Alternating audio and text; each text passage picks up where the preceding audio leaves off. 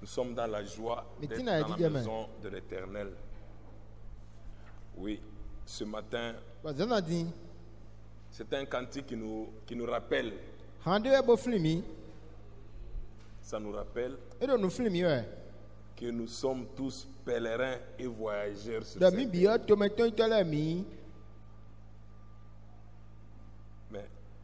Le ciel nous attend. tán C'est pourquoi nous avons cette assurance díẹ̀ nẹ que ce monde n'est pas chez nous. mi tán hàn Que le Seigneur vous bénisse. Euh, je vois, c'est vrai, nous, ch- chacun est en masque, comme le dit la loi. Euh, mais tâchez d'avoir quand même l'option de, bien respirer. Il ne faut pas bloquer le nez, hein, puisque quand vous bloquez le nez, donc euh, il y a le gaz carbonique qui retourne encore sur, en vous. Donc euh, vous pouvez chercher une ouverture, je ne sais pas, vers le bas ou quoi, mais ne bloquez pas le nez complètement. Si vous devez euh, respirer aussi, c'est très important. Que Dieu vous bénisse. Euh, nous allons nous mettre debout pour lire la parole de Dieu. dans le livre de Genèse chapitre 24 au verset 58.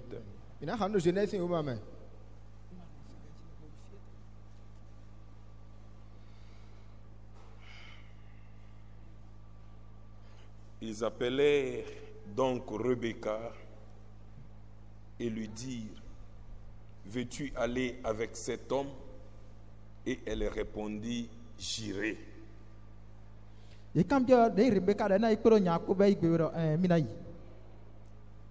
Seigneur notre Dieu, nous venons humblement devant toi ce matin et te dire merci. Merci au Dieu pour le temps que tu nous as accordé d'être rassemblés dans ta maison, pas pour écouter la voix d'un homme, mais o pour t'écouter, ô Dieu, mawo bona à travers l'instrument que tu vas utiliser ce matin.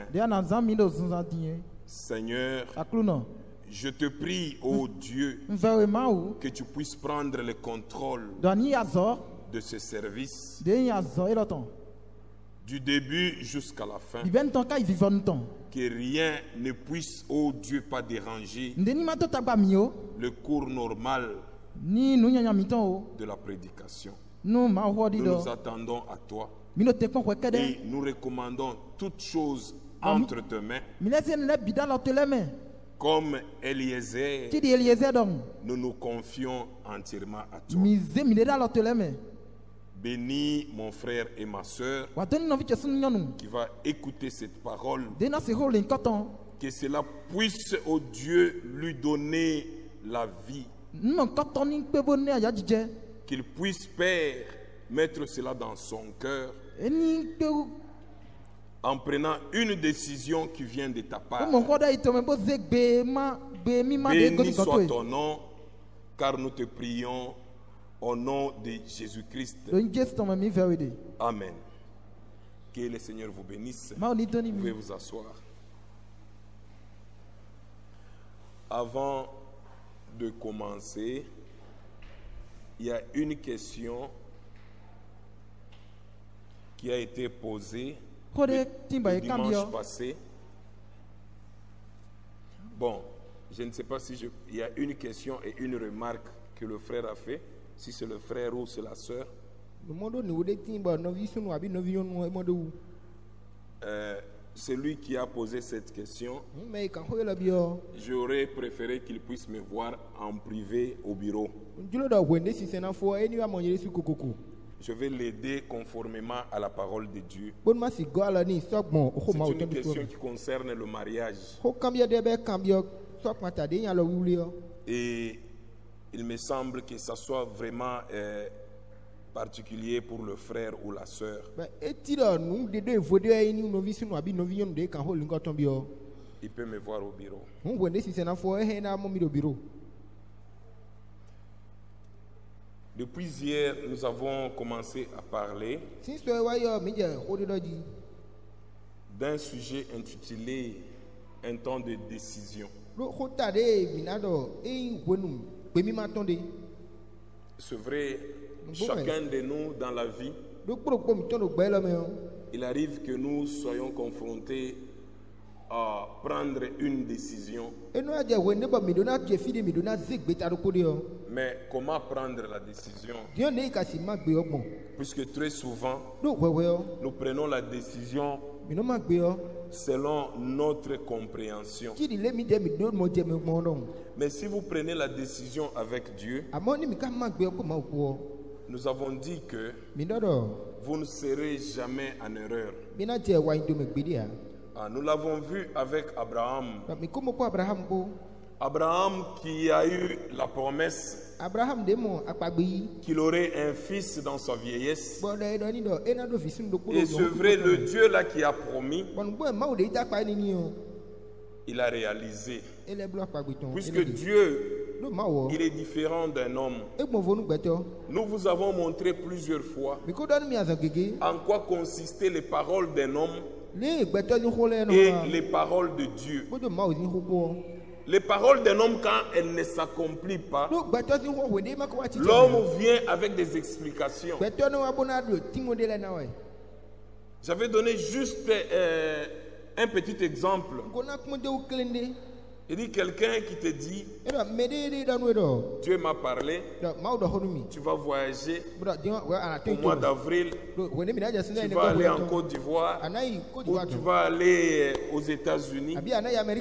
Mais on arrive au mois de mars, di o confinement total, gbɛ pandémie, toutes les frontières fermées. Le mois d'avril arrive, tu es toujours confiné, les frontières fermées. Nous avons dit que dɔ il faut seulement oublier. Cela n'est pas venu de Dieu. Quand Dieu parle, il réalise. Même si tu, as, tu voyages après le confinement, ce n'est pas Dieu. Dieu parlait avec précision. Quand il dit tu vas voyager au mois d'avril, s'il y a pandémie, comme c'est Dieu qui a dit, il va créer une voie pour que sa parole s'accomplisse. C'est ça la fidélité de Dieu. C'est ce Dieu-là o qu'Abraham e bɛ abraham adorait. e de sisan Un Dieu qui accomplit. Un Dieu qui est fidèle à sa parole. Abraham connaissait son Dieu. Il savait que c'était un Dieu qui ne pouvait pas revenir à sa parole ou à sa promesse. C'est pourquoi il a été imputé de justice. Abraham crut contre toute espérance. Il mit, il mit sa confiance en Dieu. Mais tout cela, e Eliezer pouvait aussi voir. eliezer pouvait voir. Peut-être Abraham aurait partagé avec lui. Il pouvait lui dire, e mais moi je m'étais dit que c'était toi l'héritier. e Mais Dieu me dit, j'aurai un fils e qui sera l'héritier de tous mes biens. Et c'est vrai, ça s'est fait sous les yeux d'Eliezer eliezer si nu kunji et sous les yeux de, de tous ses serviteurs. Dieu l'a béni et lui a aussi donné un fils. gele Eliezer a vu cela. Eliezer savait que le Dieu adorait, sɛn abraham o c'était un véritable Dieu. C'est pourquoi, mon frère, ma soeur, nous devons d'abord avoir de l'assurance. Sinon, nous risquons d'être des récitateurs. Eliezer a vu comment Dieu a donné à Abraham un fils. Et ce fils-là, o Dieu l'a demandé en sacrifice. Abraham qui, qui va avec son fils. Le frère Branham dit ils ont marché environ plus de 160 km à la montagne. Et ils arrivent là. Lui, Abraham, quand il partait avec ses serviteurs, il savait que le Dieu là, ne o qui lui a donné son fils, il pourvoira. Et il, est, il partait avec son fils. ko Et ils arrivent quelque part. o Il dit à ses serviteurs, restez ici. mi nɔ Et ses serviteurs sont restés. Lui évolue avec son fils. Ils sont arrivés au lieu de fi de sacrifice. na sa vɔ de o Et l'enfant a même posé la question à son père. Il dit, papa, voici le bois. Mais où est l'agneau pour le sacrifice?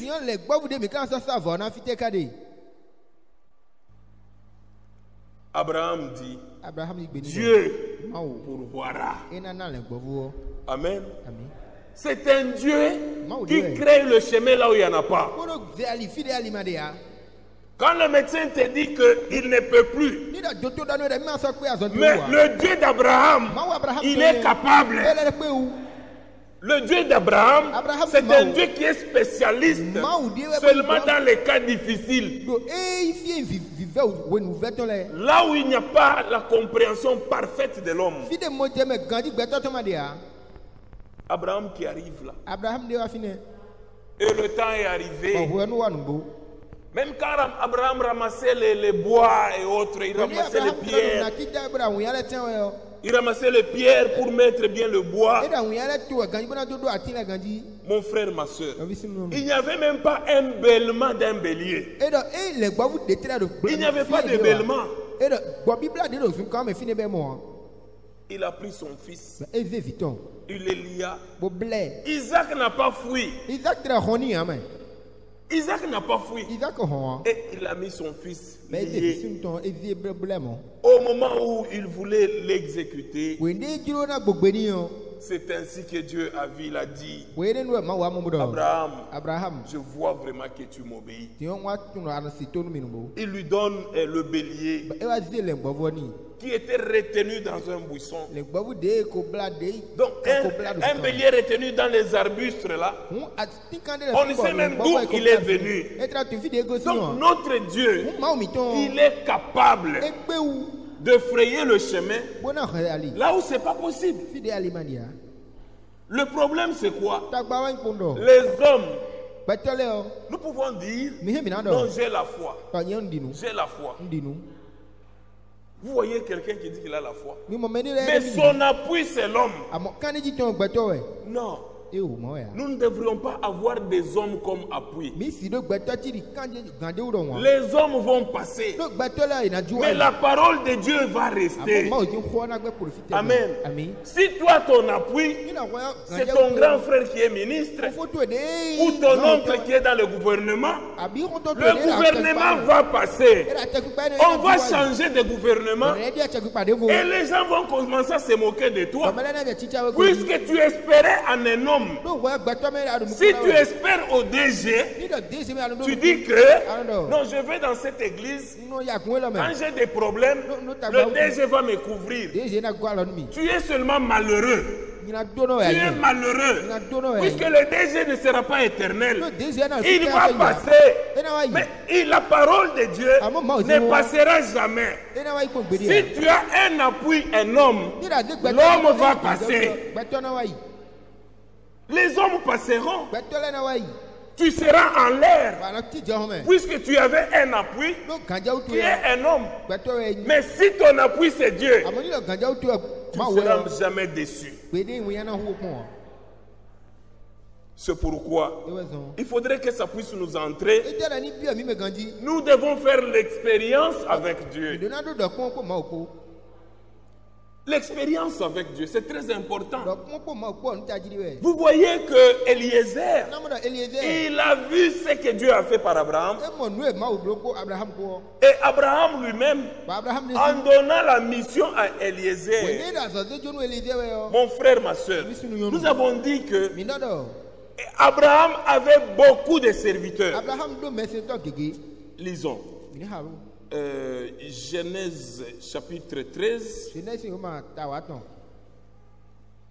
La Bible dit au verset 1er, Abraham remonta d'Égypte vers le midi, lui et sa, lui, sa femme et tout ce qui lui appartenait, et Lot avec lui.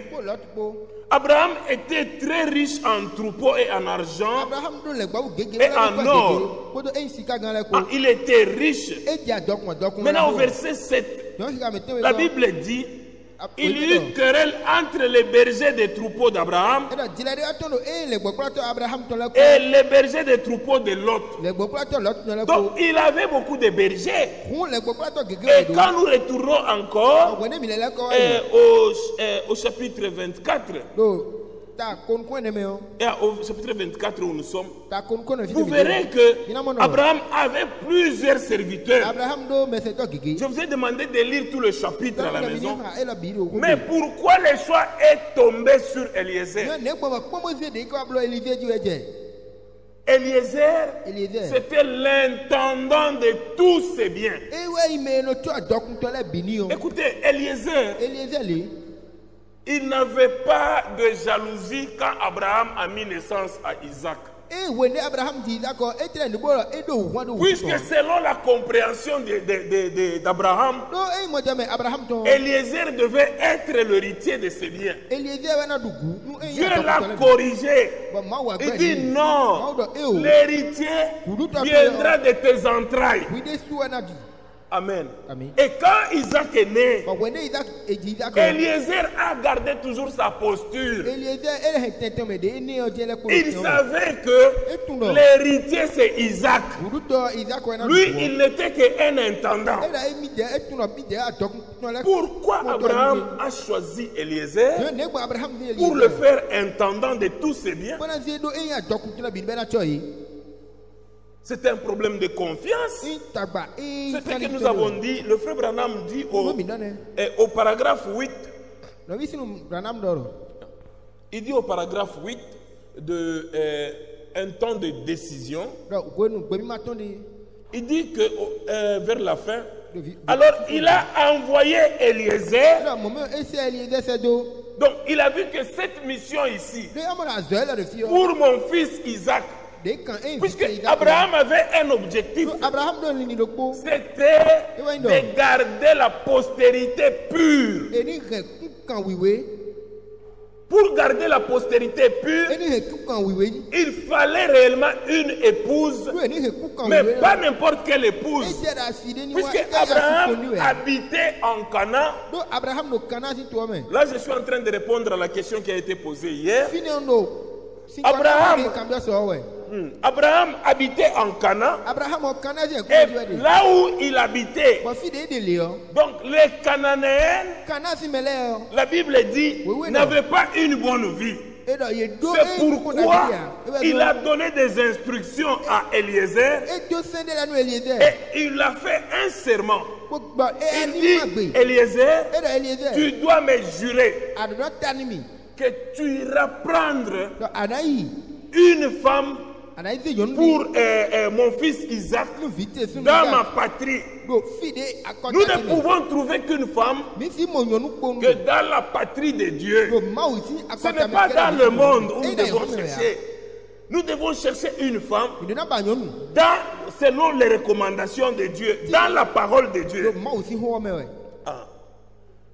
Vous pouvez aussi tomber sur une Jézabel qui est venue chercher le mariage et tu tombes sur elle.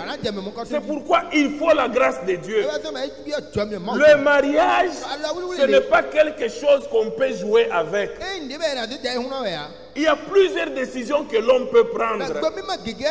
À la décision du mariage, on ne prend pas ça à la légère. ne se n di ayi hun dɔ ŋun C'est pourquoi, pour voir le- le- le- le- le- la gravité de l'affaire, Vous voyez que Abraham appelle Eliezer, bien qu'il avait confiance en Eliezer. E Il a vécu longtemps avec e Eliezer, mais quand il s'agit du mariage de son fils, il a dit Eliezer, viens, e tu dois me jurer devant le Dieu de la terre et du ciel. Donc il kɔ a fait jurer, e e puisque c'était vraiment un danger. e si Eliezer pouvait prendre n'importe quelle femme et donner à son fils. tɔn Amen. Donc le problème des mariages, on ne peut pas jouer avec ça. On ne peut pas se marier parce qu'on a pitié de l'autre personne. Non. e e k'u lɛ Nous devons réfléchir. le- le frère Franck dit, on, on- on ne peut prendre la décision qu'après avoir suffisamment réfléchi. e Vous avez réellement la certitude que ce sel-là, fi sinon vous allez souffrir toute votre vie. mɛ mɔ gbɛ mi Donc le chat est tombé sur Eliezer, puisque Eliezer était un homme de confiance. yin Ah, au paragraphe 8, là où je lisais, Le frère Branham dit alors Branham. il envoya Eliezer, son fidèle serviteur. yɔ Il avait d'autres serviteurs, mais Eliezer Eliezer yɔ était fidèle. Eliezer, le serviteur d'Abraham, son serviteur le plus âgé, un fidèle serviteur. Abraham l'a appelé Abraham et lui a donné, et lui a de- euh, demandé de placer sa main sur sa cuisse. Et de jurer par le Dieu du ciel dunu ne laisserait pas Isaac épouser une cananéenne. Mon frère, tu ne peux pas épouser une cananéenne. boa Tu dois épouser dans le territoire de Dieu. Ah, le frère Branham dit encore, quand un chrétien quitte ce territoire, là ce sont des ennuis. Amen.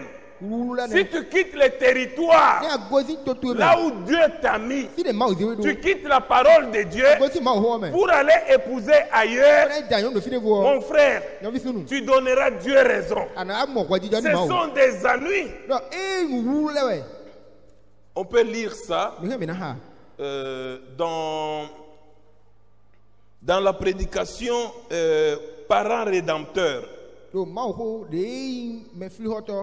Ah. Il a prêché ça le 2 octobre 1960 eɖa do 2 octobre 1960 au paragraphe 54. Il dit ceci. Et à chaque fois qu'un croyant sort du territoire que Dieu lui a donné, suivez très bien. Quand un croyant sort du territoire que Dieu lui a donné, vous sortez de la parole de Dieu. À cause du mariage, vous allez en dehors, mon frère, ma soeur, quelle que soit quelle décision que vous prenez, si vous la prenez en dehors du territoire de Dieu, écoutez ce qu'il dit. Il dit souvent en politique, o il dit il y avait ces braves hommes de être de, plus loyal, ba yi do akɔ ganyi mais il ne le restera pas. amɔ ena nɔa Il dit quelqu'un qui était loyal, mais il entre en politique. Il n'est plus loyal. On a vu même des gens et de frères soutenir le- le- la politique dans le message ba ici. Yi Non. Mon frère, si tu veux faire la politique, fais la politique. lɛ La maison de Dieu, ici nous gbɛ n'avons pas de propagande à faire. Laissez fia la politique aux politiciens. ɖe Il dit tout homme et tout comme. Il donne un exemple. dɔ Il dit je connais un ministre. Il dit un ministre que je connais qui se présenta pour être maire de la ville. gan Et quand il se fut, il sortit des territoires ministériels. kpekpa de Et Satan s'est abattu sur lui. Mon frère, puisque tu, veux- tu auras, je ne sais pas, la haine, puisque toi, ton, ton souci, c'est gagner, tu vas utiliser tout moyen. Alors à ce moment-là, tu quittes le territoire. Il dit au, verset, euh, au paragraphe 55, quand un chrétien sort de ce territoire-là, de yi se ne de gosi to tɔ mɛ o il dit quand un chrétien quitte de ce territoire-là, je vais aller passer un bout, euh, un bout de temps au billard avec les gars. kpo Il dit, je ne vois aucun mal ne prendre, euh, euh, ne prendre qu'un petit verre. Ah, un chrétien, il va prendre un petit verre. Il dit, ça c'est un verre de circonstance. jɛ ni Ce n'est pas que je bois tous les jours. hein. wɛ Ça c'est circonstanciel. kpo ŋua Mon frère, tu as déjà quitté le territoire. Il dit, vous êtes en dehors de vos territoires. Revenez. Revenez. Nous devons revenir dans le territoire de Dieu. Il dit, vous vous attirez, vous ne vous attirez que des ennuis. e lɛ Vous ne vous attirez que des ennuis. C'est pourquoi e bɛ sɔn nous devons vraiment veiller à cela. Et euh, euh, dans, un autre, dans une autre prédication, le départ secret et soudain de l'Église, prêché en 1958, de dɔ de mi na sa se kan wi dɔn. ah, au paragraphe euh, 115, le frère Branham dit encore, il dit, ça n'est fini avec notre nation. Il parlait des, des États-Unis d'Amérique. Il dit, ça n'est fini avec notre nation. Elle est moralement corrompue et ruinée. E e. Il dit, notre politique est corrompue et finie. e. Nos dirigeants, Oh Dieu. o ma o. que pouvons-nous faire à ce propos? Écoutez ce que le prophète se pose comme question. Il dit, que pouvez-vous faire à ce propos? Il dit, vous pouvez y introduire quelqu'un de bon. Quelqu'un qui est bon. Vous reconnaissez le frère. Un bon frère, il chante à la chorale, il nous fait chanter, il est zélé dans les choses de Dieu. Peut-être il introduit aussi les cultes, ou peut-être il nous prêche. Il dit, vous l'introduisez en e politique. Le frère. Branham dit, vous pouvez y introduire quelqu'un de bon, mais il en sort escroc. ko Il était bien. mɛ dagbede e da yi. Mais il commence à défendre. Il peut vous utiliser même la Bible ici. Il utilise les citations de frère Branham ba nɔvi branham si wo pour juste vous montrer que dɔ. il n'est pas en erreur. Il est toujours dans les territoires. Ah, Balaam, balam Balaam, balam il a demandé la volonté de Dieu. Et Dieu lui a refusé d'aller. Il est venu pour la seconde fois. Et Dieu lui a dit, comme ces gens sont venus, vas-y. Mais la volonté de Dieu, a mo juro ma o tɔn. c'était de ne pas partir. e e kɔn Oui, mon frère, Eh, tu mon peux aller faire la politique. to hora Dieu gbɛ t'est béni, ma o na jɔn les choses vont bien. yi Tu donnes tes dîmes à l'église. Bah, On ne tu va pas refuser cela. Tu donnes tes dîmes, tu donnes tes offrandes. Mais il ne faut pas quitter le territoire de Dieu. si tu es un fils d'Abraham, tu vas quand même voir que non, là, je suis tombé. wɛ Et ce que Dieu veut, est que nous puissions revenir. Même si tu as déjà quitté le territoire, tu es parti en fumant, tu es parti en, en, en, buvant, peut-être tu es parti dans la prostitution. Ce que le Seigneur veut, nu ye ba kulu c'est de revenir. wa. Il veut que nous puissions lui revenir. wa. Le Seigneur n'aime jamais la mort d'un pécheur. Il veut que tout le monde arrive à la repentance. Mon frère, ma soeur, c'est pourquoi vous voyez que eh, cet homme Eliezer, le choix est tombé sur lui parce qu'il était fidèle. Et quand Abraham l'a choisi. Eliezer, il est resté, il a posé des questions. Il voulait connaître, il voulait avoir des certitudes. Comment serait la mission Puisque c'était une mission tellement difficile. de Et. Eliezer a commencé à échanger avec Abraham. abraham. Lui dit, mais là où tu pars, si la, la fille ne vient pas, si la femme refuse de ni venir, tu ne seras plus lié à ce serment. Il lui a donné des garanties. Et nous voyons que, nous, nous voyons que Eliezer, eliezer. quand il est parti, il, est, euh, il, a, il, il a laissé Abraham, il est parti. Et il a demandé à Dieu e e e Vous ma o. dans sa prière, et tɔ vous allez, vous, vous allez euh, on va lire ça. Euh, il dit, c'est dans Genèse 24. jeunesse yi o ma ta ko nkun Ah. Il dit ceci dans sa prière. Il dit, je suis arrivé aujourd'hui à la source et j'ai dit, éternel Dieu de mon Seigneur Abraham. Pourquoi il a dit le Seigneur d'Abraham Dieu de son Seigneur Abraham? Pourquoi il a cité Abraham. Puisqu'il connaissait que le Dieu d'Abraham, c'est un Dieu terrible. Il crée même là où il n'y a pas. Le Dieu d'Abraham. C'est Jéhovah Jireh. Il pourvoit toujours.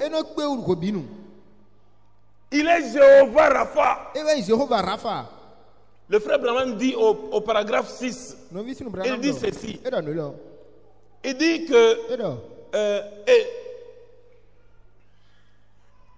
un bélier ne se retrouvait pas au sommet de cette montagne.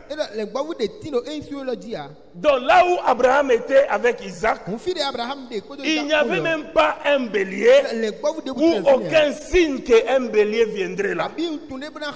Gbawu. Il dit un bélier ne se retrouvait pas au sommet de cette montagne. Dia. Là où il n'y a ni eau, ni verdure, ainsi vous voyez. C'est absolument Dieu hein, qui l'avait placé là. Là où il n'y a pas de l'eau, il n'y a pas de verdure, mais Dieu le plaça un bélier. Le En effet, Momeo. Il est Jéhovah Jireh. Dieu, il est Jéhovah Jireh. C'est le Dieu là que Abraham priait. Il est éternel. Il se pourvoira un sacrifice. Dit, il est tout autant Jéhovah Jireh ce soir ou ce matin. Zanzan abi qu'il était alors. Donc, même ce matin, il est le Jéhovah Jireh. Quelle que soit ta situation, retiens que le Dieu d'Abraham, Ba ido da mama c'est Abraham.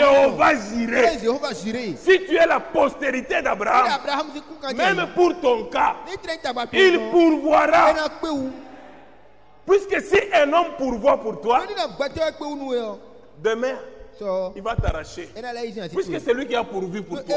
Mais quand Dieu pourvoit, yo. c'est pour l'éternité.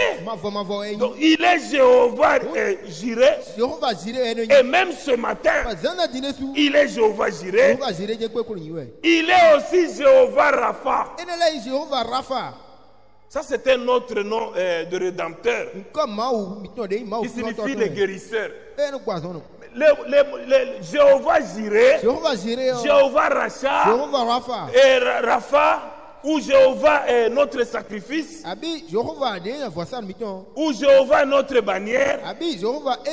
Le frère Branham dit que On ne peut pas dissocier ces noms. On ne peut pas les dissocier.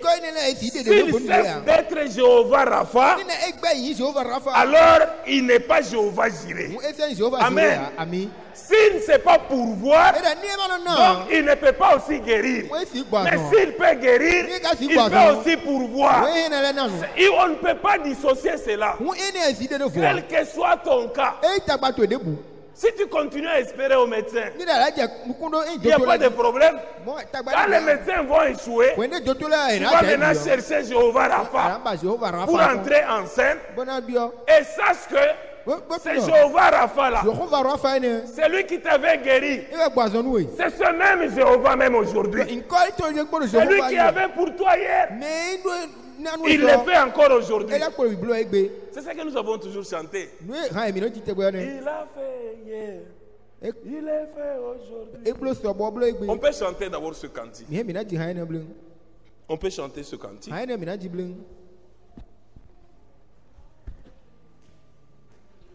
Blo. Il a guéri hier. Il guérit aujourd'hui. Il guérira demain. Jésus ne chance. songe pas. Il a guéri hier. Il guérira aujourd'hui. Il guérira demain. Jésus ne change pas. Il a guéri hier.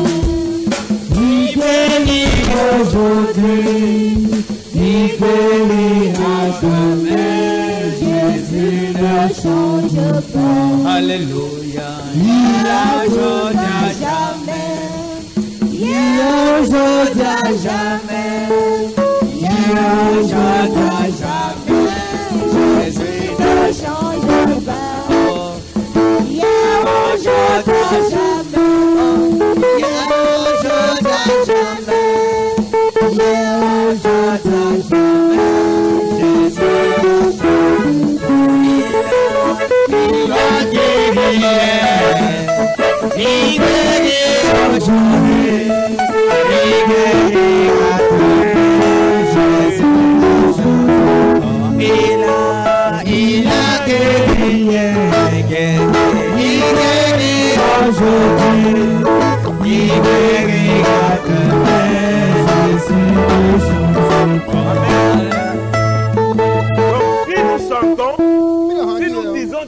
guéri hier et qu'il guérit aujourd'hui, il guérira encore demain.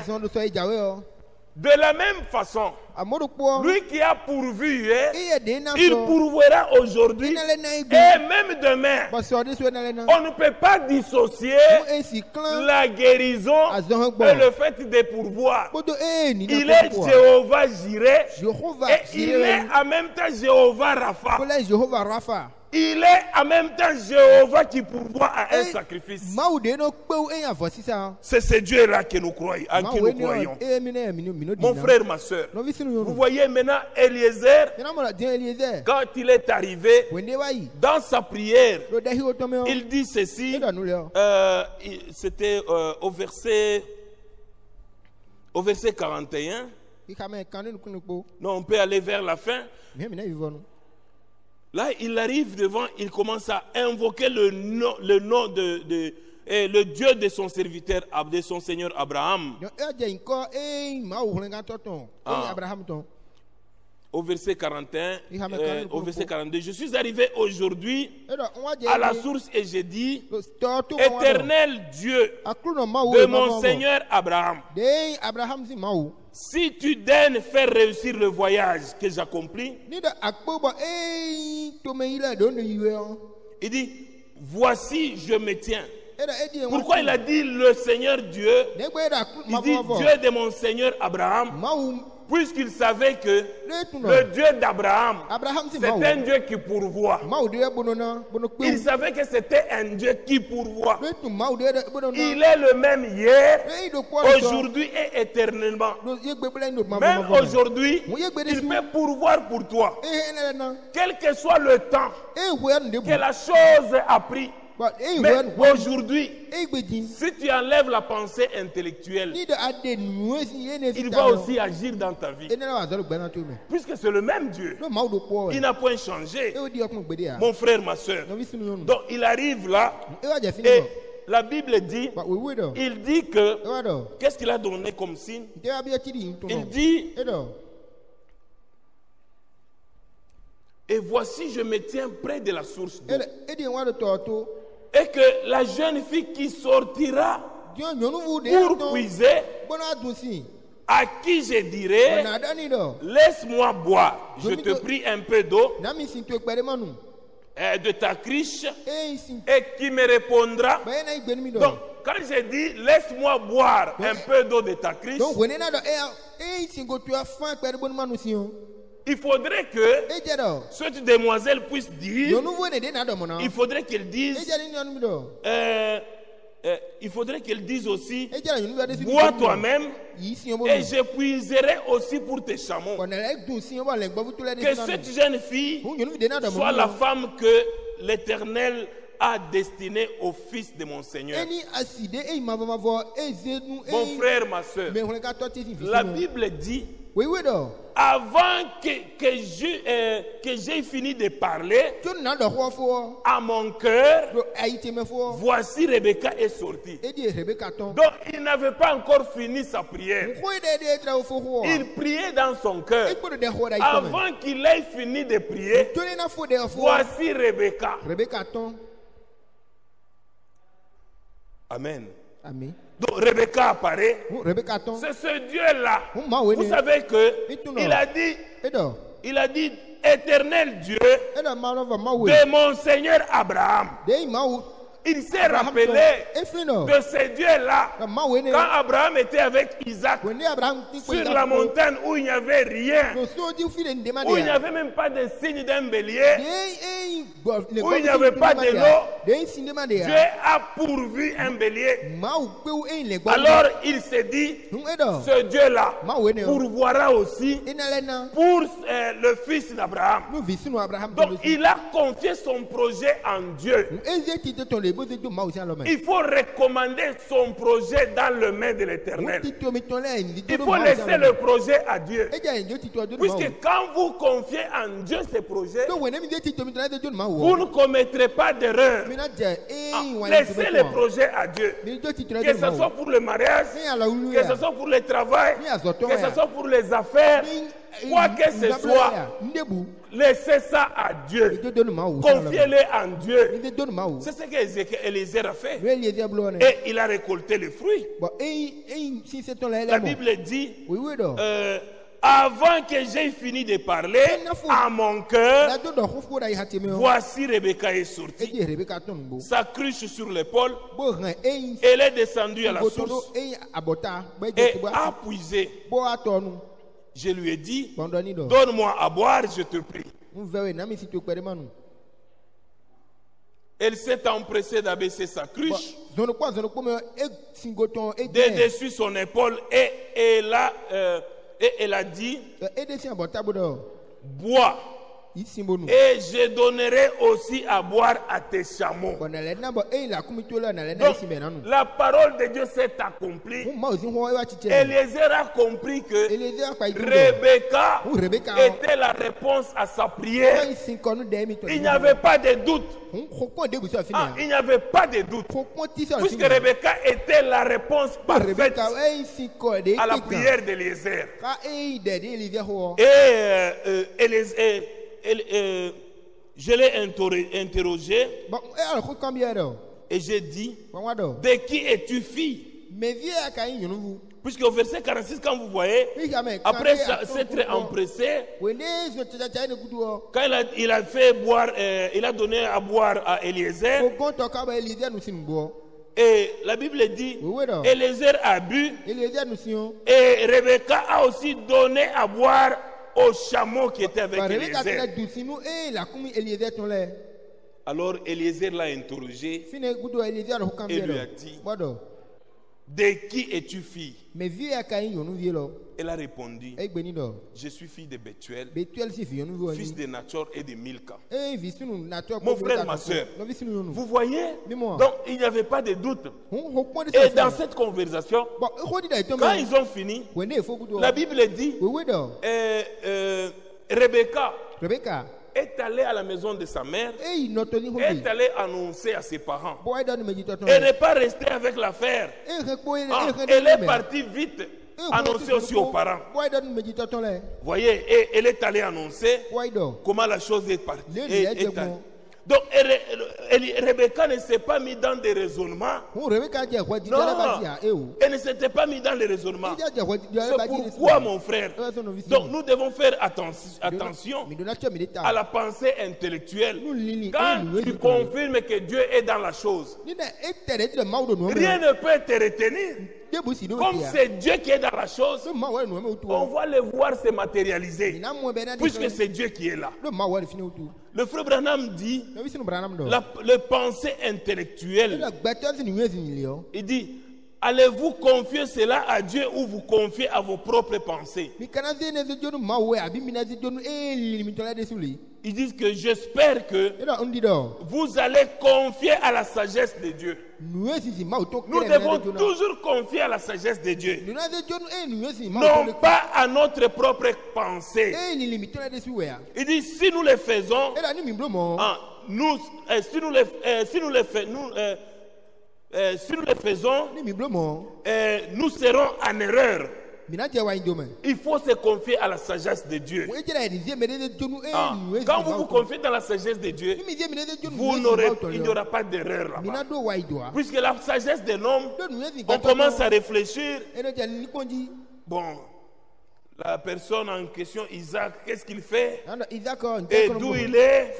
Non, comme c'était la réponse de Dieu, vous comprenez que Rebecca est allée annoncer aux parents. Et Eliezer est allé vers les parents. Et quand il est arrivé ah là, fini o Eliezer était constant. Amen. Il était constant dans sa façon de dire. nye kote Eliezer ne pouvait pas être intimidé par les parents. Non, il n'était pas intimidé. di hɛsi de C'est pourquoi quand vous lisez bien la Bible, vous voyez que Laban et Bethuel, au et chapitre Bethuel, 5, au verset 50, do ihame kan de o au verset 50. ihame kan de o D'abord au, au verset 49. Donc quand Eliezer est arrivé devant les parents, il leur a expliqué e na tun la manière dont il a marché. e Donc, wa et jusqu'à ce qu'il a rencontré euh, Rebecca. Et il dit, il dit aux parents, maintenant, si vous voulez user de bienveillance na et de fidélité envers mon Seigneur, ee déclarez-le-moi. Sinon, déclarez-le-moi. Et je ne, je ne me tournerai à gauche ou à droite. o Quand il a dit ça, Laban et Bethuel. Répondirent et dirent Ah, c'est de l'éternel que la chose vient. Nous ne pouvons te parler ni en mal, ye ni en bien. Puisque tu as engagé Dieu là-bas. mɛ Nous ne te parlerons ni en bien, ni en mal. ya Il dit, voici Rebecca devant toi. Prends et va, qu'elle soit la femme du fils de ton Seigneur, comme l'Éternel l'a dit.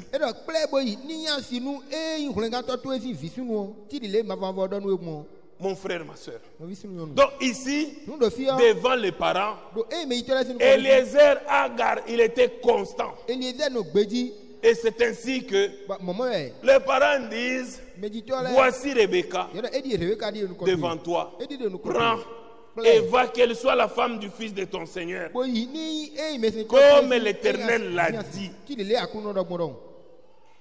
Lorsque le serviteur d'Abraham eut entendu leurs paroles, il se prosterna à terre devant l'Éternel. Ah, il se prosterna puisqu'il a vu que Dieu était avec lui. Quand vous vous confiez en Dieu, Dieu ne va pas vous abandonner. wa Il sera toujours avec vous. tɛgbɛ Au paragraphe 15, toujours de, de la même prédication, le frère Branham dit ceci. Ainsi, comme Eliezer croyait et qu'il s'était confié en Dieu, on pouvait donc chercher à travers le monde, on pouvait passer chaque ville au pain fin ou aller dans chaque maison, mɛ. et on ne pouvait jamais trouver meilleure compagne pour Isaac que Rebecca. Donc, on pouvait aller n'importe où, on n'allait pas trouver Et une bonne compagne et compagne pour Isaac que Rebecca. Ah.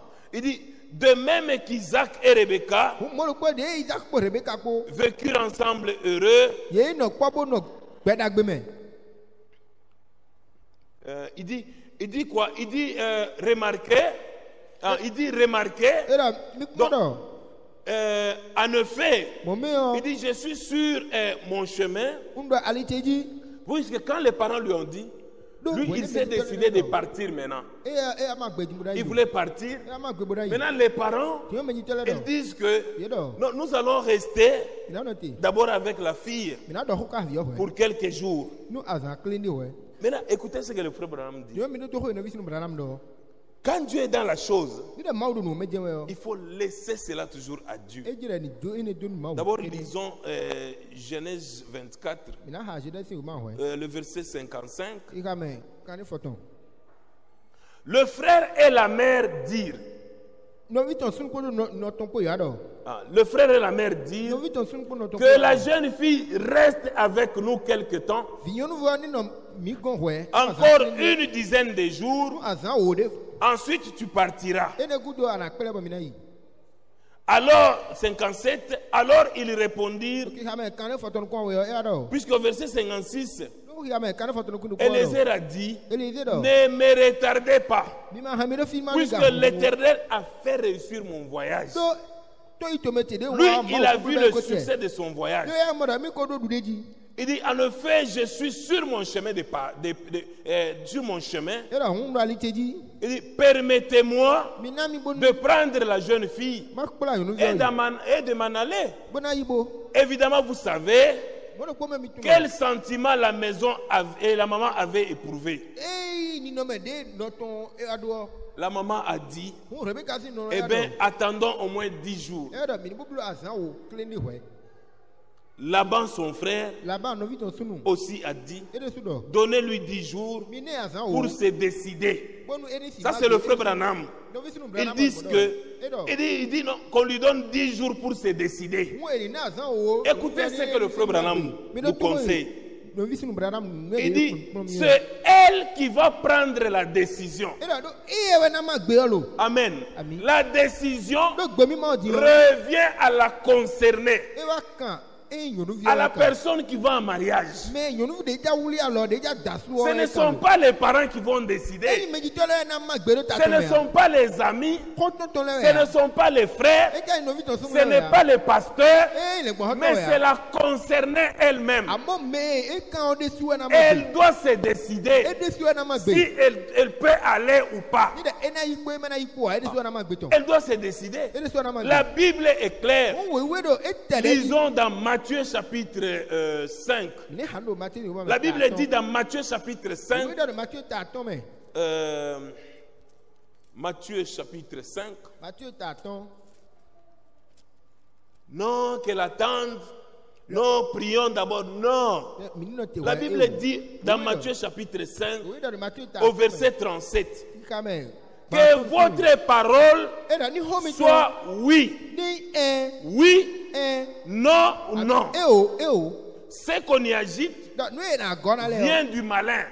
A o vi Que votre oui soit oui, que votre non soit non. Amen. C'est très important. Le frère Branham dit que, il dit Laban, son frère, E a aussi dit, E donnez-lui dix jours pour se décider. E. C'est elle qui va prendre la décision. E. Comme c'est elle qui doit prendre la décision, e donnons-lui encore dix jours.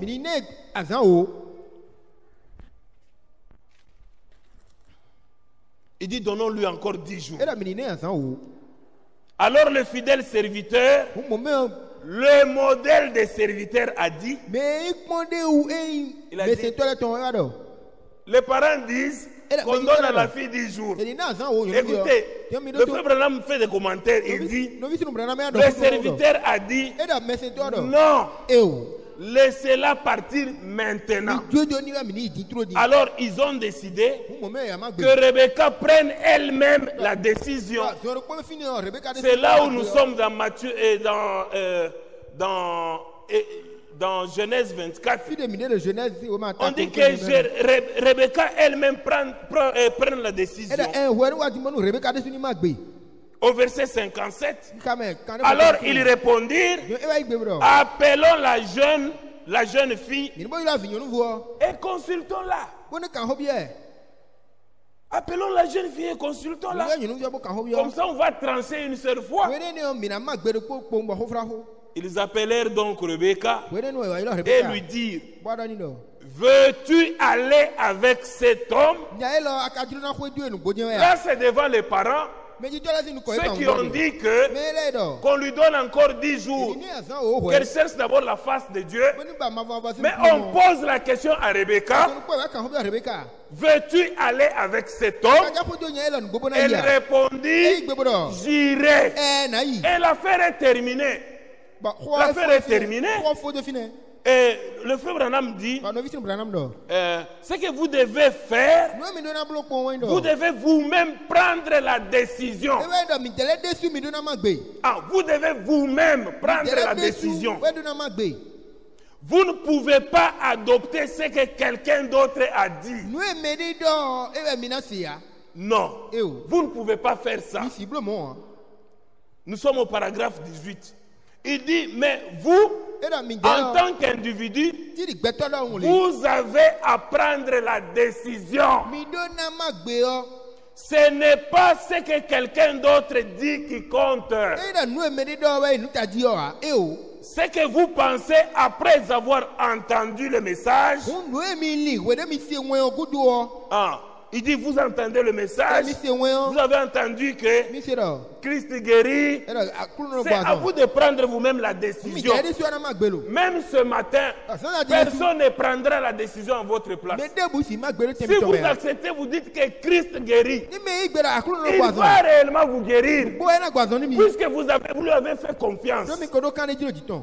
Ah, C'est votre propre attitude. C'est votre décision qui compte.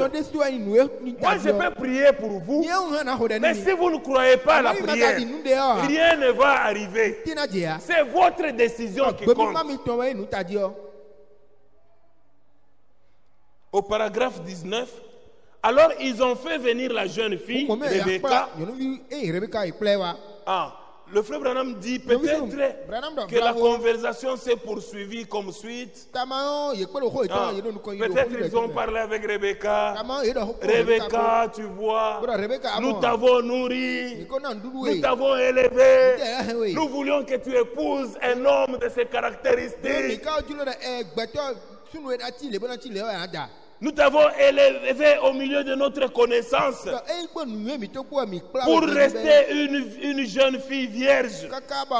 Et c'est ce que tu es. Ya ka Mais voici Rebecca, un étranger, un étranger qui est venu parmi nous avec preuve qu'il y a un homme riche gbɛtɔ qui va léguer à son fils toutes ses bénédictions. eyi Veux-tu aller avec lui maintenant? Nugboa ou veux-tu attendre environ 10 jours pour te décider? Abi a nɔ te kɔ azã wo tso bena do ma gbɛto ye Puisque Eliezer, c'était un étranger, il n'était pas connu. C'est ya pourquoi les parents disent, un étranger est venu. Est-ce que veux-tu réellement aller avec lui? Yi Puisque c'est Rebecca qui devait décider. Les parents ne pouvaient pas décider à sa place. yan Eh bien, rappelez-vous, le serviteur avait dit, je vais me mettre en route. Dieu m'a fait trouver grâce. Et je suis prêt à me mettre en route. Il dit, ne renvoyez jamais à demain. Ça, c'est le conseil de Frère Branham. Si vous l'acceptez comme serviteur de Dieu, comme prophète de l'âge de la Odyssée, vous devez faire ce qu'il a dit. Ah, nous devons faire ce qu'il a dit. Il dit, ne renvoyez jamais à demain ce que vous pouvez faire aujourd'hui. Ah, ne renvoyez jamais à demain ce que vous pouvez faire aujourd'hui. he mi na bolo gbe o Que votre oui soit oui e mi to ni et e votre non soit non. ko ni e o mi to ni Il ne faut o pas renvoyer à demain. Il dit c'est comme ça avec le message. Ah, c'est comme ça avec le message. Ne renvoyez jamais à demain. Si la parole de Dieu dit revenez dans les territoires, revenez. Ah, ne renvoyez jamais à demain. Demain ne nous appartient pas. wa Si tu dois donner ta vie à Christ, c'est aujourd'hui, ce n'est pas demain. Et quand tu donnes ta vie à Christ, tu deviens plus en sécurité. a do ayi dza ite ne gan Il dit, ne renvoyez jamais cela à demain. Ce que vous devez faire aujourd'hui. nu mi he mi na bolo gbe o Il dit, c'est comme ça avec le message. Quand e il est prêché, quand le message est prêché, wende la décision vient automatiquement. Amen. ami Ah. Au paragraphe 20, il dit, rappelez-vous, elle devait choisir par la foi. De Donc Rebecca devait choisir par la foi. de Elle n'avait jamais vu cet étranger. mɛ jono yi la e e o mɔ de fi de kpɔn wa Ah, elle n'avait jamais vu cet étranger. Puisque là, on l'a appelé même étranger. Il dit un étranger qui est venu parmi nous. mɛ Mais elle devait choisir par la foi. ɔ Elle mo n'avait jamais vu cet homme, kun mais elle devait choisir par la foi et sur base des paroles d'un serviteur. Amen. Comme c'est un serviteur qui lui parlait, tiri o mɛsɛtɔ de yɛ dɔ ko ni il devait choisir par la foi sur base de ces paroles-là. Puisque cet homme, c'est un étranger. wɛ Et c'est ce qu'il vous faudra ba mo faire. bulo ne Je reprends. C'est le paragraphe 20. Un temps de décision. Paragraphe 20. e ha mɛ ko gɔ Il dit, rappelez-vous, elle devait choisir par la foi. Elle n'avait jamais vu cet homme. Mais elle devait choisir par la foi et sur base des paroles d'un serviteur. C'est ce qu'il vous faudra faire. En effet, kanji mɔ c'est l'unique moyen de s'y prendre. Dieu envoie ses serviteurs. Et ces derniers prêchent la parole. hɔ La foi vient de ce qu'on entend. Et ce qu'on entend vient de la parole. Et on croit à cela, on s'y attache. Et on prend la décision. C'est très important. La foi vient de ce qu'on entend. Il dit, qu'en pensez-vous? C'est à vous de faire le choix. Je vous conseillerais de ne pas reporter cela. Moi aussi, je vous conseillerais de ne pas reporter cela. Il faut prendre la décision maintenant.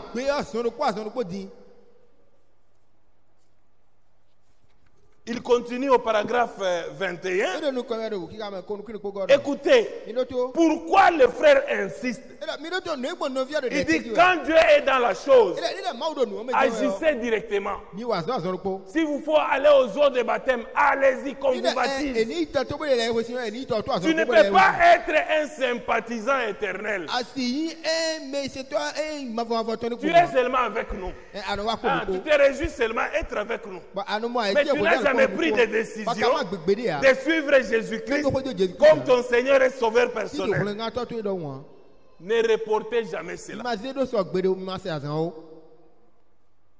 Au paragraphe i 21, ka mɛ ko nu kiri ko il dit ceci. Et il y a d'autres décisions que vous devez prendre. Avant de vous marier. Vous devez décider quelle jeune fille vous allez prendre pour femme. Ah, vous allez vous décider quelle jeune fille que vous allez prendre pour femme. Et vous les femmes, ba mi mɛ nyɔnu lɛ mi vous les femmes, vous devez décider quel homme va être votre mari. tɔn Amen. Vous feriez mieux de ne pas trop longtemps reporter cela. Je reprends. C'est le prophète qui parle, c'est pas moi. Nous sommes au paragraphe 21. ya mɛ ko nu kiri ko gɔ Vous feriez mieux e hu de ne pas trop longtemps reporter cela. e o Il peut changer d'avis. Amen. L'homme peut changer d'avis. Tu ne vas pas condamner. da Tu ne vas yɛ dire non, c'était un faux frère. E dɔ, e o, an Il peut ma changer d'avis. C'est comme une femme. Le frère Branham donne maintenant un exemple. C'est comme une femme qui a fait attendre un homme alors qu'il avait deux hommes, deux choix. Il fait attendre celui-ci. ti ba mɛ la e Il est en train de vérifier aussi là-bas. Maintenant, il ne sait pas qui prendre. Celui-ci ou c'est celui-là? Écoutez ce que le frère Branham dit. Il dit ceci. C'est comme une femme, il y a quelque temps, ba a zan de b'a yi elle avait deux hommes. Tous les deux, des hommes bien. Est-ce que vous suivez Tous les deux, des hommes bien. et n'arrivait pas à décider lequel elle allait épouser. e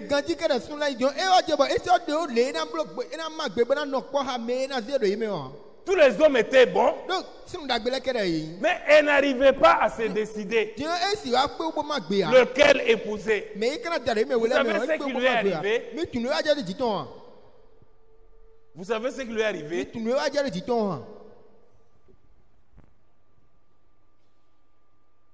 Elle n'arrivait pas, comme elle, n'arrivait pas à décider lequel elle allait épouser. Et elle a raté tous les deux. Elle a raté tous les deux. mɔ Celui-ci. Celui-là. lɔ Donc, c'est elle qui, qui vous fait. Elle a, elle a des choix là. Elle ne sait pas se décider. Le frère Branham dit elle a raté tous les deux. Ainsi. Dieu exige une action immédiate. Amen. Dieu exige une action immédiate. Azɔnukpɔ azɔnukpɔ si nu yi wa mɛ e b'a Que votre oui soit oui. Que votre non soit non. E o mi tó ni e o. Si vous l'aimez, Mettez tout le reste de côté. Amen. Si vous l'aimez, mettez tout le reste de côté et kere recevez-le. ko. Ko xa ko no kpɔ hɛ. Je n'ai pas entendu de Amen. Mettez tout le reste de côté et recevez-le. Mi se nu ekpere bi se do kɛ ko do gan. Si vous croyez sa parole, débarrassez-vous de tout le reste et recevez sa parole. C'est un temps de décision. Vous devez vous décider. Amen. Vous devez vous décider.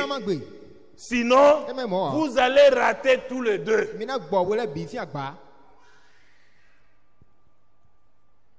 Quand nous prenons dans euh, le choix d'une épouse, Asitɔn. au paragraphe Iha mɛ 22, konukun wi. il dit, dans beaucoup d'occasions Et dans notre vie, nous devons faire un choix. Oui, nous devons faire un choix.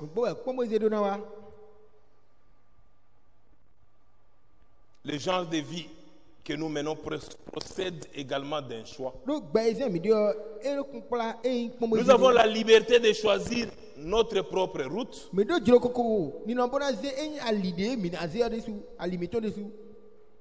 D'agir dans notre vie comme bon nous semble.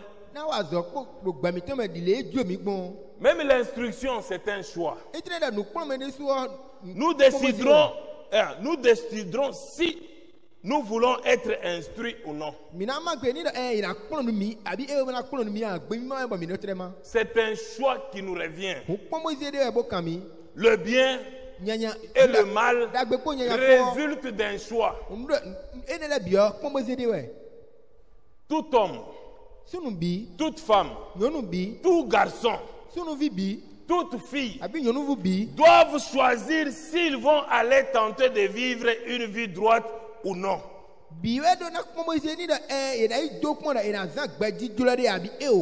Il dit, c'est un choix. Et le choix est très important. Le choix est très très important. Au paragraphe euh, 25, ihame kɔatɔn il dit, dɔ c'est comme des chrétiens, vous avez également un choix à effectuer. Comme ce matin là, nous sommes. Chacun est, il est libre de faire un choix. Le frère Branham parlait des États-Unis d'Amérique. Il dit, c'est comme ici en Amérique, jusqu'à maintenant. Il dit, vous avez la possibilité de choisir l'église à laquelle vous désirez appartenir. Même l'église, c'est un choix. wɛ Vous avez ce choix-là. de Il dit c'est le privilège de tout Américain bi de choisir son église. tɔn C'est un choix. de plus, vous n'êtes pas obligé d'adhérer à aucune d'entre elles si vous ne le désirez pas. Mais si vous désirez passer de l'église méthodiste à l'église baptiste ou catholique ah, ou protestante ou tout autre, mɛ o personne ne peut vous l'empêcher ou vous imposer une certaine église. hã C'est là votre entière liberté. Il dit car notre démocratie le permet. o Ah, notre démocratie le permet. Il dit la liberté est donnée à tout homme. e bi La liberté de religion. dzro koko didi de ye Et c'est là très important. e di. Que Dieu nous aide à la conserver aussi longtemps que possible.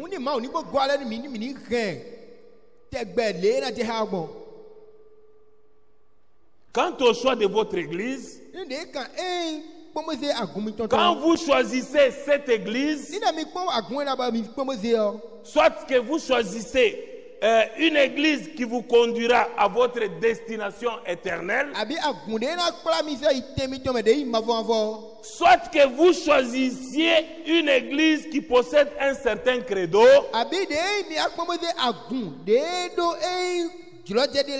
et qui vous fera penser que ce credo est tout à fait ce qui vous convient. Ensuite, vous avez le choix de la parole de Dieu. Vous devez choisir. Il est implicitement admis de pouvoir choisir. Vous devez choisir. Même l'église, c'est un choix. Oui, Eh. si tu veux passer d'une église méthodiste à l'église baptiste, c'est ton choix à toi. Baptiste à l'église euh, euh, armée céleste, christianisme céleste, c'est un choix. Si tu veux, tu choisis aussi cette église. Comme ton église. C'est un choix. Amen. àmì C'est pourquoi, zan mon frère, ma soeur, ne reportez jamais ce que vous pouvez faire aujourd'hui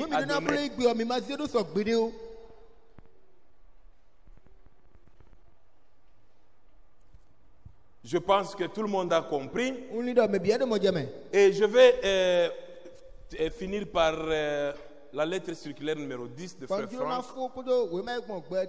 de janvier 1977. de wọn de janvier mille neuf cent soixante-dix-sept dán Nous voyons que Eliezer, ọ dans la mission qui lui a été confiée, Eliezer, quand il est arrivé dans cette mission, nu ọ il n'a parlé, il a donné seulement le message qui lui a été confié.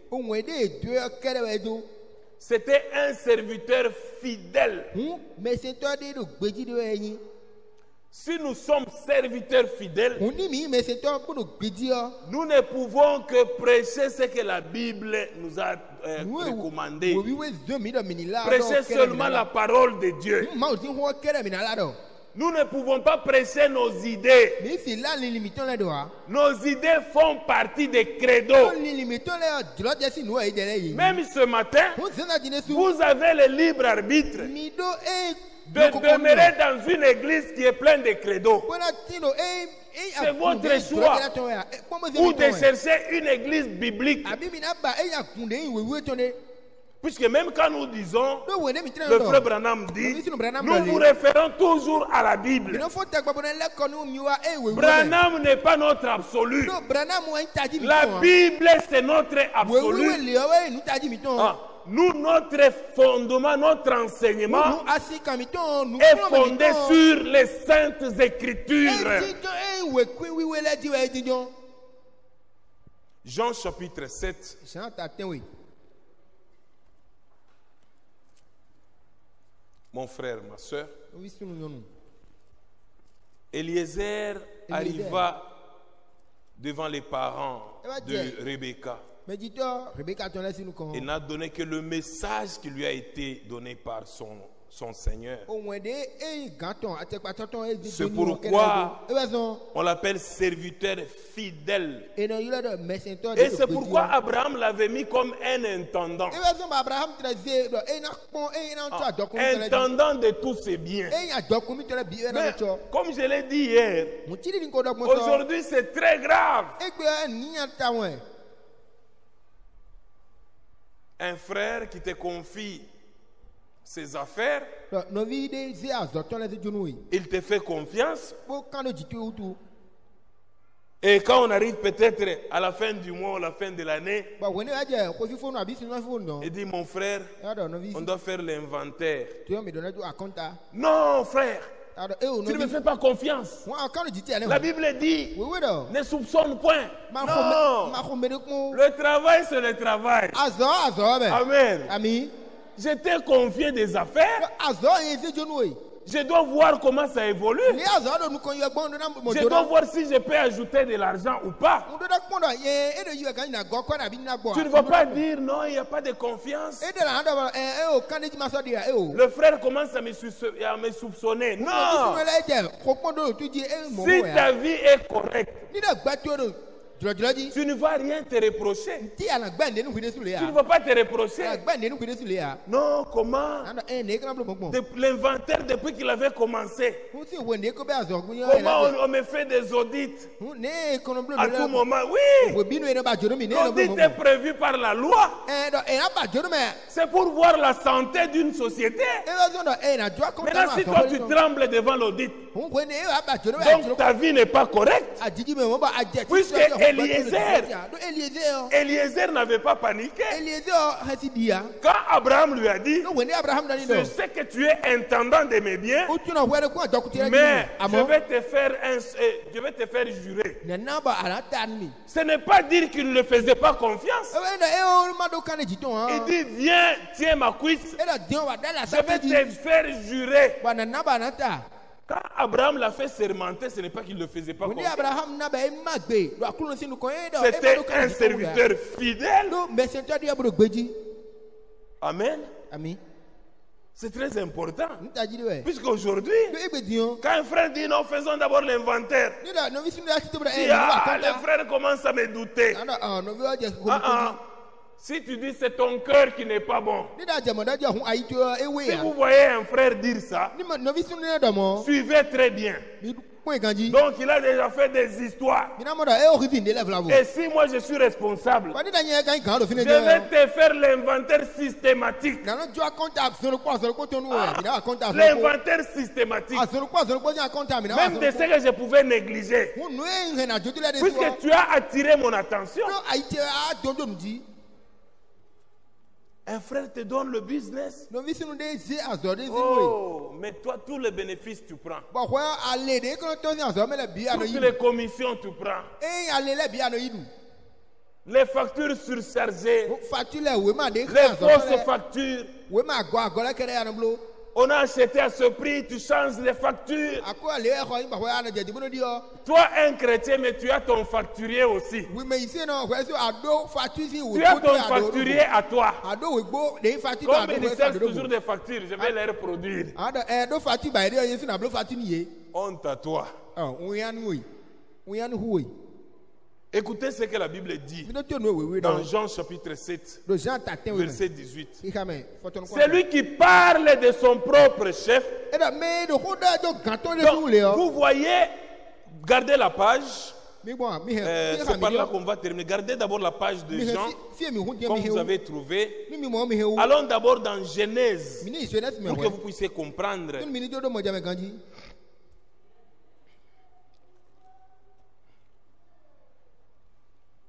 Genèse chapitre 24, Je ne sais pas ta kon kon ne. Quand euh, Eliezer était devant les parents de Rebecca, il a commencé à leur rapporter comment il a marché. Il dit, je suis arrivé aujourd'hui à la source et j'ai dit, Éternel, Dieu de mon Seigneur Abraham. Verset 40 42. xixame kan ne nukun gɔ mi de Dieu de mon Seigneur Abraham. Si tu daignes fais réussir, euh, si tu daignes faire réussir, euh, faire réussir ce voy- le voyage que j'accomplis, voici je me tiens près de la source d'eau. Et que la jeune fille qui sortira pour puiser, à qui je dirai, laisse-moi boire et je, te, et je te prie un peu d'eau de ta cruche.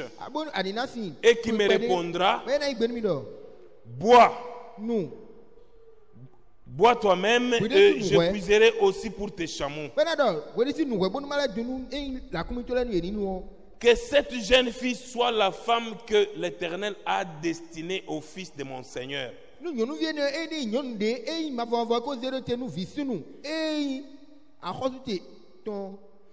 Avant que j'ai fini de parler de mon- à mon cœur, voici Rebecca est sortie sa, est, est sortie sa cruche sur l'épaule.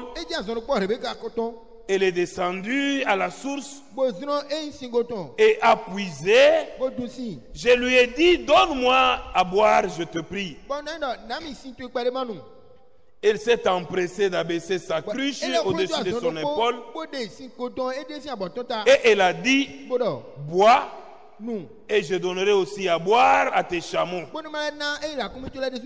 J'ai bu et elle a aussi donné à boire à mes chameaux.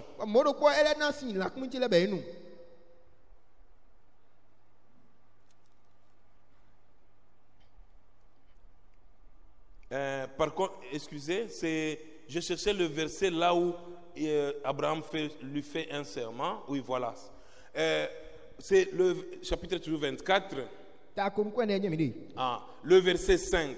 Le serviteur répondit, peut-être la femme ne voudra-t-elle pas eɖɔ me suivre dans ce pays? gbɛ Devrais-je mener ton fils dans le pays d'où tu es sorti? Abraham lui dit, garde-toi d'y mener mon fils. L'Éternel, le Dieu du ciel, qui m'a fait sortir de la maison de mon père et de ma patrie, qui m'a parlé et qui m'a juré en disant, je donnerai ce pays à ta postérité. Lui-même enverra son ange devant toi. Et c'est de là que tu prendras une femme pour mon fils. Si la femme ne veut pas te suivre, ya tu seras dégagé de ce serment que je te fais faire. Seulement, tu n'y mèneras pas mon fils. Le serviteur mit sa main sous la cuisse d'Abraham, son Seigneur, et lui jura d'observer ces choses. Ah, il a juré d'observer cela. Maintenant, quand il est arrivé euh, devant les parents de Rebecca, il a rapporté les mêmes paroles. e nu Il n'a pas, il n'avait pas son message. ya Il n'est pas parti de lui par- parler de lui-même. wa Il a été envoyé. e yɛ Celui qui est envoyé, wɔ. il parle des paroles de celui qui l'a envoyé. Si Dieu vous a envoyé, vous ne parlerez que de paroles de Dieu, puisque c'est lui qui vous a envoyé. Jean chapitre 7, san ta tɛn we au verset 18. i ka mɛ fɔtɔnu kɔntɔn. Celui qui parle de son propre chef. Yɔ cherche sa propre gloire. Mais celui qui cherche la gloire de celui qui l'a envoyé, celui-là est vrai. Il n'y a point d'injustice en lui. Amen. Il n'y a point d'injustice en lui. C'est quelqu'un qui est fidèle. Il n'y a pas d'injustice. Tu ne peux pas. On t'amène une affaire pour trancher. Il y a un catholique, il y a un frère du message. Tu dois trancher. E Mais tu vois que le catholique a raison. e Mais ton frère n'a pas raison. Mais tu condamnes le catholique. Tu dis que non, la Bible dit faites du bien à vos frères en Christ. Mais non, c'est faux. Si le catholique a raison, il a raison. jɔ Je vais condamner mon frère en sa présence. Amen. Ah, il ne faut pas avoir de l'injustice. e agɔ La faute que fait ton frère, tu vas la punir de la même manière que tu as puni les catholiques. na gbɛ ni ti le le agbɛ nu katoliki nɔ ɖɔn C'est ça. le eti gbɔn ne Ah. Celui qui parle de son propre chef e cherche sa propre e gloire. e Mais celui qui cherche la gloire de celui qui l'a envoyé, e celui-là est vrai. Celui qui parle de celui qui l'a envoyé, il n'y a pas d'injustice en lui. e Il n'y a pas d'injustice. ma wa dodo de bu de me hã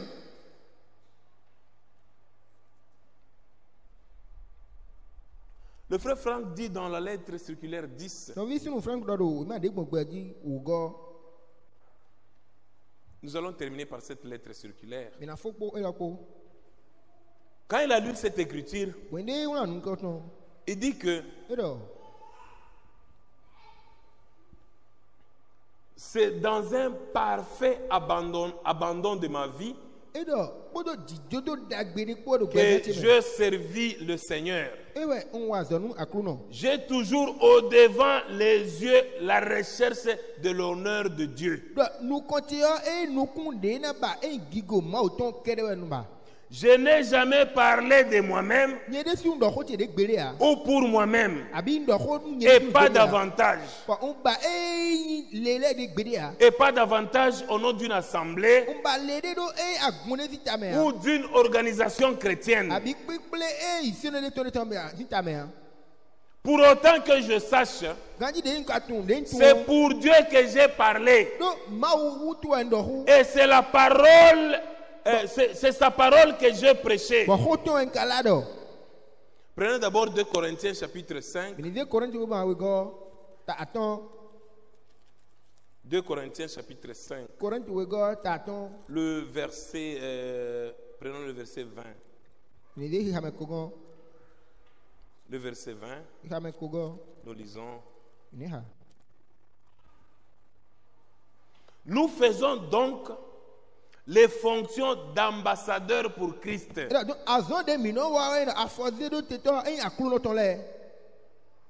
Comme si Dieu exhortait par nous.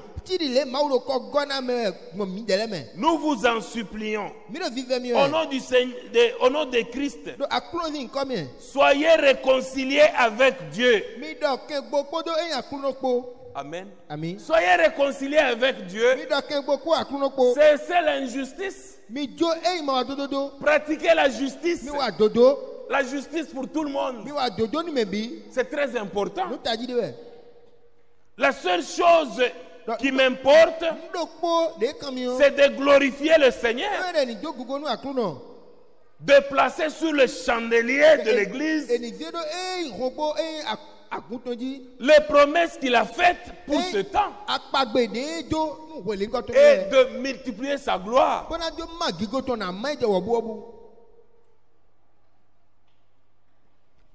Ce qu'a dit le Sauveur en ce temps est encore valable aujourd'hui. Là où nous avons lu dans Jean, c'est lui qui, qui parle de son chef, wɔ cherche sa propre gloire. eɖo eɖo susu gigo ba yɛ Cette parole est valable même aujourd'hui. Alors que celui qui parle de la part du Seigneur. Wu cherche l'honneur de Dieu. Et il est pénétré de la véracité de sa parole. Dans la vie de tels hommes et de telles personnes, mɛ yɔ il ne se trouve point d'injustice yan ni de motifs impurs. eyi Non. Nous devons nous efforcer qu'il n'y ait pas d'injustice, qu'il n'y ait pas de motifs impurs. nu eyi nu agɔ debu ma do mi mɛ o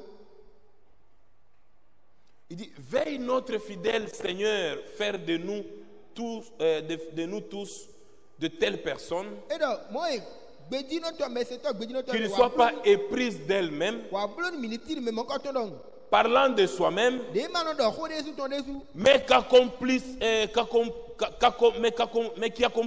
en toute fidélité mɛ et qu'il nous a donné à faire.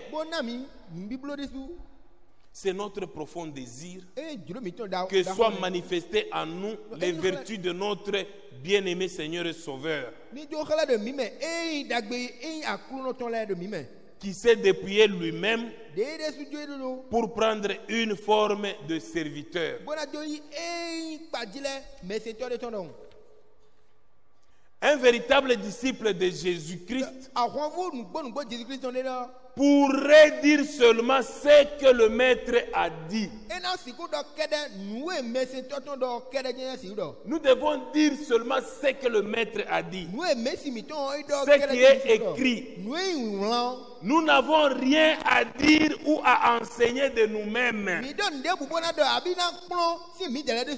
Sinon, ebe mɔ hã ce qui a déjà été enseigné par les apôtres et les prophètes.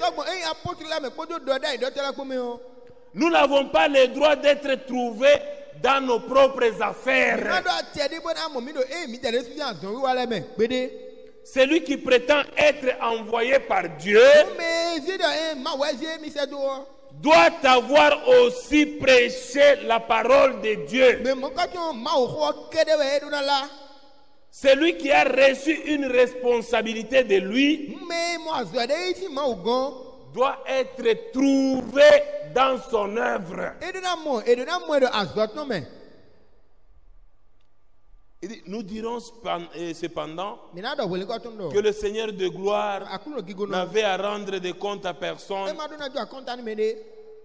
même s'il avait parlé et rendu témoignage de lui-même. Cela aurait été justifié. Cependant, il a prononcé une parole qui nous éclaire, car il s'est présenté comme le Fils de l'homme, comme le prophète dont. Moïse avait parlé. Si souvent nous nous surprenons à être de bonne humeur, quand tout va comme nous le désirons, quand tout va comme nous le désirons, là nous sommes dans de bonnes humeurs. Maintenant, quand tout ne va pas bien, dit pourtant lorsque les épreuves nous atteignent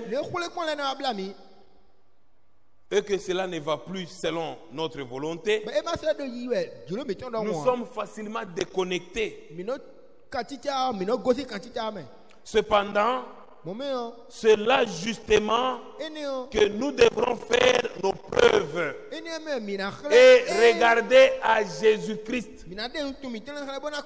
Quand nous sommes dans des épreuves, quand les choses ne vont pas bien, nous devons regarder à Jésus-Christ, avoir et à nous ce sentiment et à faire confiance en Dieu.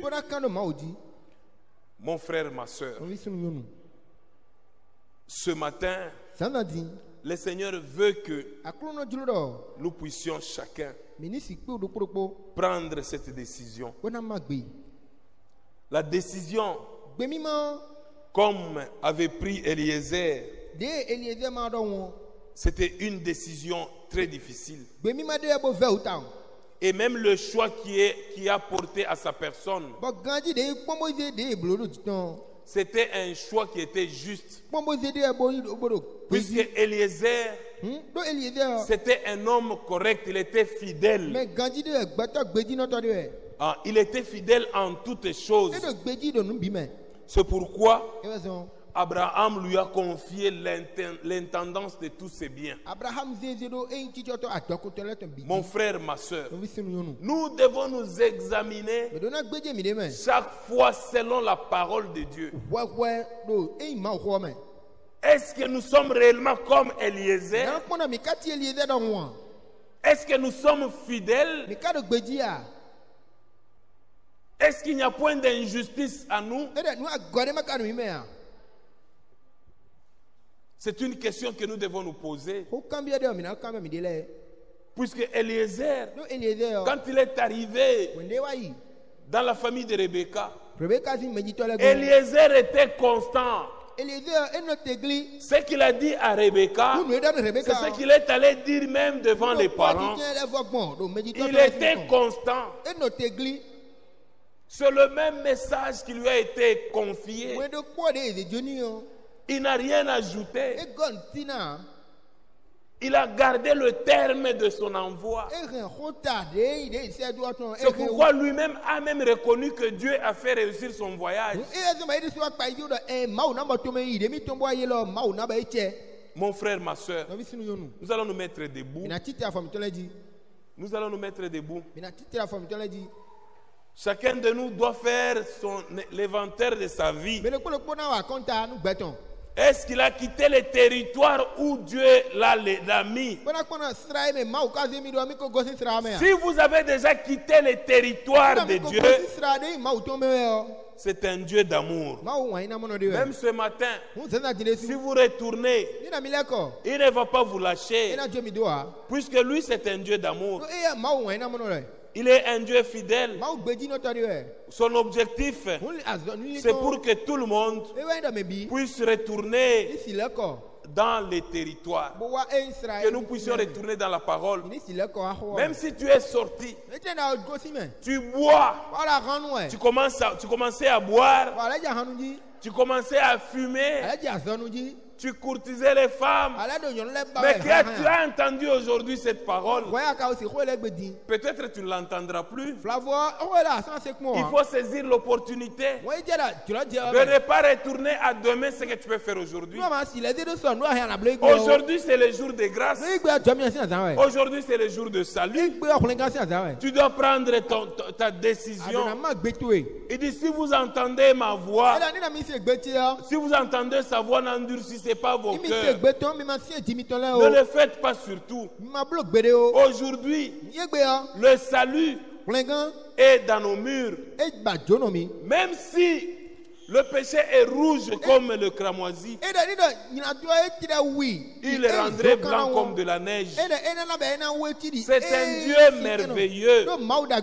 Ah, il est un Dieu merveilleux. Il veut que nous puissions revenir. Il dit, venez et plaidons. Dis le Seigneur. Même ce matin, e su il continue à fi Il continue à nous inviter. C'est un Dieu merveilleux. Il n'aime pas que le pécheur puisse mourir dans son péché. Notre Dieu, tɔn il veut que nous puissions revenir.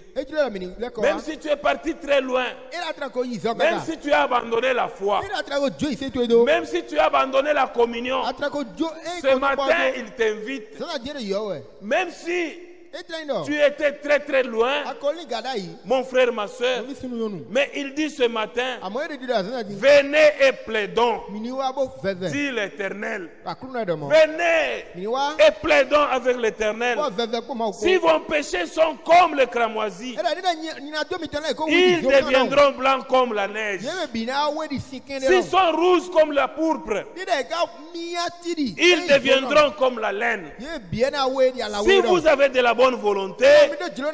Le problème, c'est avoir de la bonne volonté. Revenir à Dieu, il faut une bonne volonté. Mon frère, ma soeur, revenons à Dieu. Ce matin, il appelle encore.